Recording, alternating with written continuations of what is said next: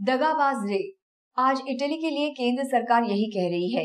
Italy ने पहले तो भारत के गुनाहगारों को अपनी हदों में बुला लिया फिर भारत को दिखाया ठेंगा और विवाद बढ़ने के बाद अब खबर है कि भारत में इतालवी राजदूत भी देश से भागने की फिराक में हैं। इटली पर संसद में ऐसा शोर मचा कि पूरा सदन गूंज उठा। विपक्ष गरज रहा है सरकार पर भड़क रहा है। ये देश का अपमान है।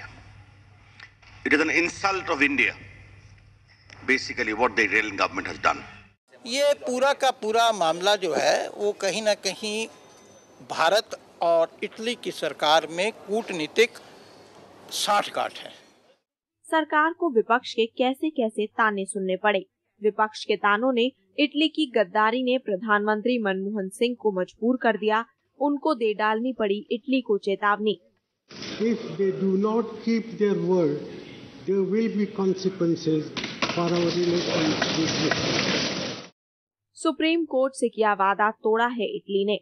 इसीलिए अदालत ने इतालवी राजदूत के देश छोड़ने पर रोक लगा दी और अब देश भर के हवाई अड्डों को भी ताकीद कर दी गई कि इटली के राजदूत भारत से बाहर ना जा सके।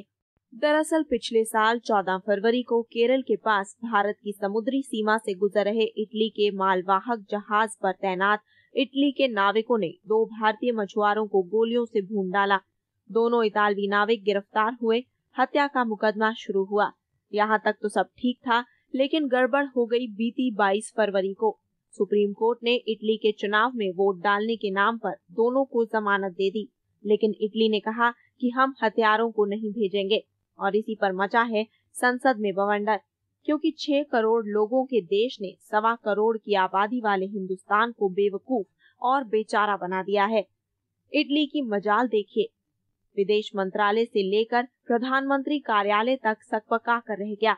मछुआरों के हथियारों को वापस भेजने के नाम पर इटली ठेंगा दिखा रहा है। अदालत को भी, सरकार को भी और देश को भी।